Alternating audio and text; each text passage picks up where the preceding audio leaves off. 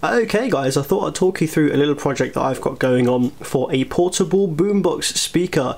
Um, the idea of this is to create something that is as loud as possible from the smallest size, very efficient, and we're not just focusing on bass, we're focusing on general volume of music and being able to fill a room with a massive party sound um, from a portable kind of unit here. I have got a, a kind of portable boombox already, and this is the um, Beats Box uh, by Monster.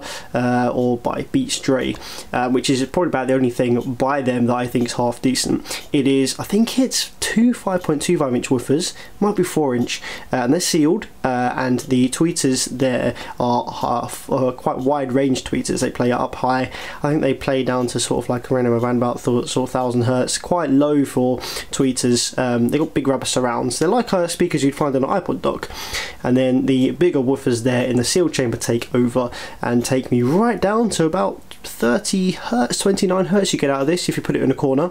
And it's a sealed box so it sounds very nice and accurate. But it's not quite as loud as I want and I thought we could do better than that.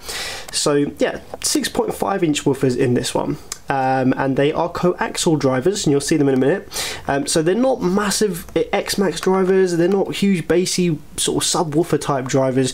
And so what I've done here is I've designed an enclosure to try and get as much bass and as much uh, range out of the low end as possible now you might not have seen this design, design before it's not a bandpass because the front of the speaker, the front wave, is directed to the open world.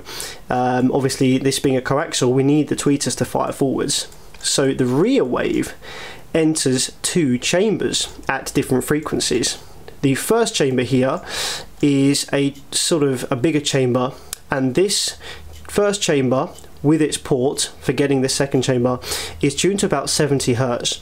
So when the driver is placed play 70 hertz, this port will load the cones and 70 hertz will be very pronounced. Now this second chamber has a port in it that tunes the whole enclosure including the first and second chamber, to 32 Hz. So obviously when this first internal port is loading the cones at 70 Hz, 70 Hz is way above the 32 Hz tuning of this second port. So what happens is this port is unloaded. It doesn't affect the wave in any way because the frequency which is passing through it is way above um, any sort of frequency which will it'll uh, create a Helmholtz um, effect at. And so what happens is it just passes through and we are listening to this internal port passed through this second port. When the woofers play a lower frequency, say 35 Hz or 32 Hz, this internal port is bypassed because the frequency is so low that it's unloading. It's just basically a hole in the box. So it's a hole in this baffle. Um, so the woofers will then, rather than seeing a first chamber with a 70 Hz port, the woofer cones then see the box as a whole through this port as if it wasn't there and load off the second port at 32 Hz. So obviously in between those two frequencies we'll have a combination of both ports. Um, obviously the internal port will be unloading a bit and then the uh, the second port here will be loading a bit. So we should get a very wide range um, I'm trying to get obviously as much range of bass out of these as possible. I wanted to keep the the thumping kind of accurate nice punchy response that you'd get from a 70 hertz port. We're playing sort of party music here. But then I also wanted a little bit of soft sine wave kind of bass when it did play a lower frequency. So I haven't tried this style of box before but I thought we'd give it a go. If it turns out it's rubbish then I might just take the top off and remove this internal port and just have it fully ported to 32 Hz but we'll see what happens. Now obviously this is going to need to be a fully active um, enclosure. It's going to need to have an amplifier and an input board and all sorts of stuff like that. So let's take a look at that stuff now now these electronic components here are just from eBay. Um, we have here a power supply board. Um, yeah, that's right, that's the power supply board. And what this does is this takes mains power, which in the UK here is 240 volts uh, with generally a maximum of 13 amps. And what this does is this converts it into 80 volts plus and minus. So it's 80 volts plus and in ground and then 80 volts minus, which is just so happens what this little amplifier board requires for its power inputs.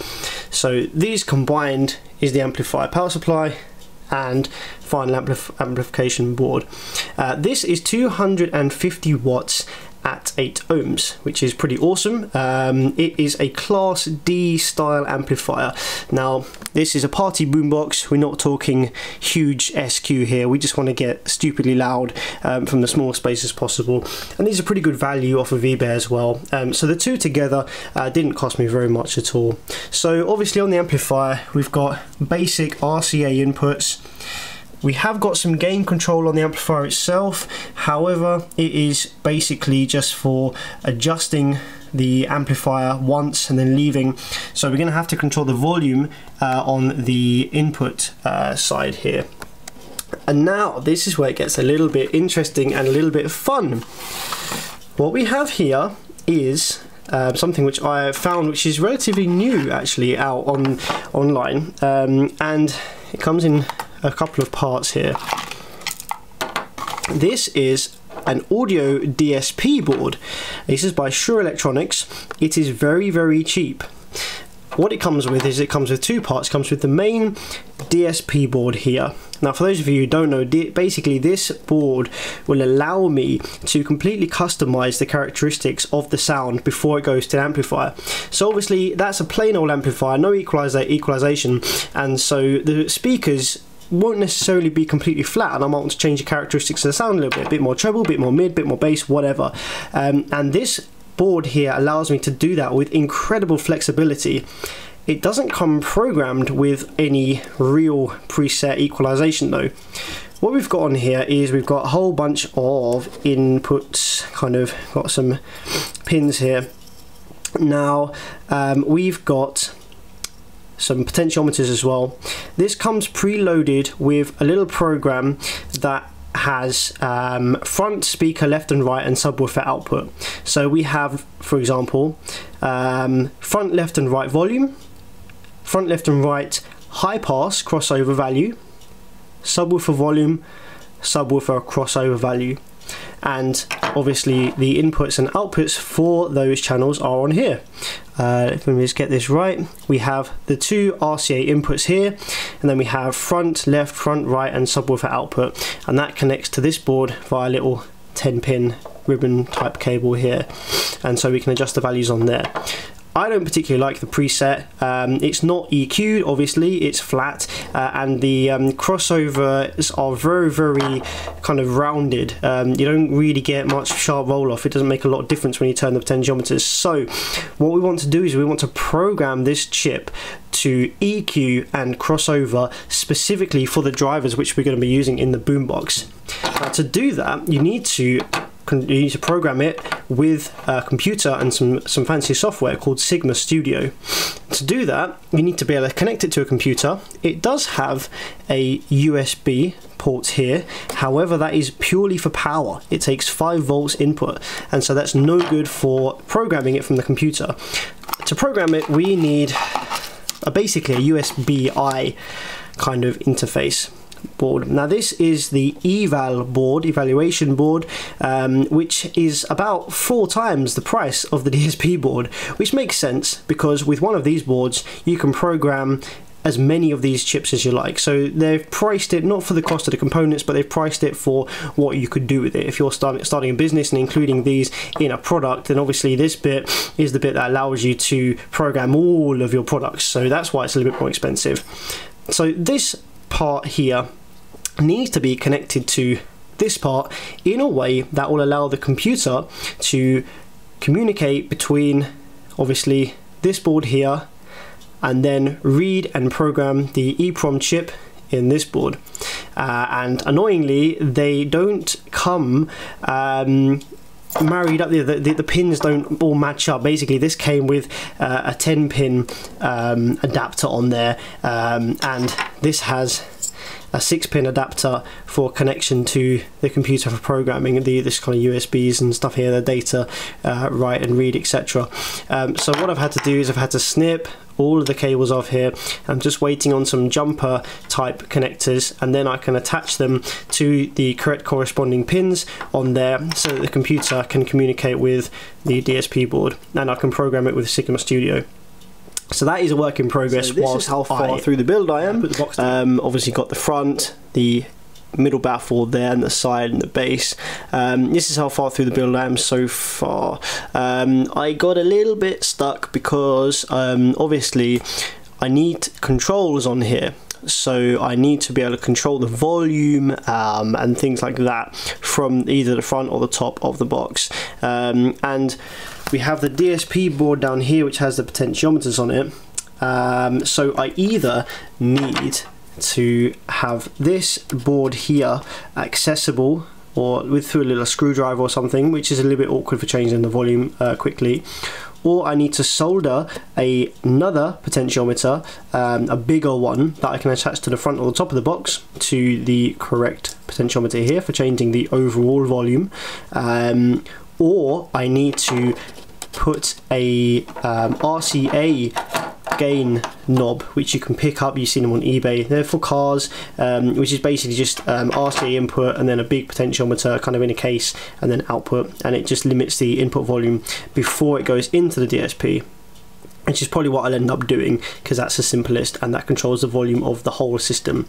Um, now obviously with this uh, setup I'll only be using front, left and right output for the two uh, coaxial speakers. The subwoofer output won't be used at this time. However I'm going to hook this subwoofer output up to a little um, RCA output on the back of the box which will allow me to add a subwoofer to this boombox if I want to. If I'm taking it to a bigger style party then what I might do is I might build a little subwoofer box as well with its own built-in amplifier board designed for the sub and then I can just plug it into the back of this and fire it up and it will play uh, as per the crossover and the um, equalizer that I've got set up in here which would be fantastic. So right now I'm just figuring out how to attach a volume knob um, either to the top or the front of the box um, without obviously there being any air leaks and things like that so I'm just trying to work out the best way to do it right now. Now the drivers, I'm being lazy because they're all the way down in the studio and I can't be bothered to go down there at this time of night. So I'm going to show you some Google images. Um, these are P Audio, um, and they're SN6150CX. And they are um, sort of PA style coaxial drivers. They're very high efficiency, which is what we want here. We want to be able to get as loud as possible with as little power as possible. Um, so, as you can see, they're pretty deep mounting, and the reason for that is we have obviously the uh, motor for the woofer driver, and then the compression tweeter, which is screwed onto the back through the pole piece and fires through the dust cap, if you like. So you can see here, get a little bit of a better picture from the front. This is what it looks like from the front. We've got a little surround, um, not massive X-Max on there, so we want to keep the cone loaded quite nicely. And I'll probably need a high pass filter on there of some sort as well if we're going crazy volumes. And the tweeter has a horn flare through the center of the pole piece there. So that should be nice and efficient and get nice and loud. And then we've got a pair of them there. So this is what I've got downstairs. So yeah, let me know what you think so far and watch out for part two when I will be assembling this a little bit further and um, testing out the basic amplifier with the speakers and seeing how it sounds in this kind of funky enclosure that I've designed.